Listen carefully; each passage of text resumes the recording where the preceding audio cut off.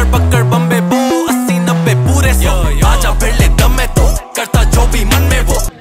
सबका पढ़ाई लिखाई जो है स्टूडेंट्स सब खाली छोड़ी बटाता है। है नहीं है कि नहीं है? जितना स्टूडेंट है वो बताइए कोई पढ़ता है?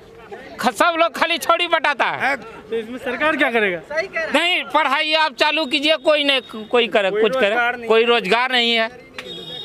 रोजगारे नहीं है। अगर पढ़ाई रहता तो हम पढ़ने के लिए जाते कि जाते मोबाइल मोबाइल ये वो करने के लिए। स्कूल में पढ़ाई नहीं रहा सब टाइम पास कर रहा है ना? सब टाइम पास कर रहा है।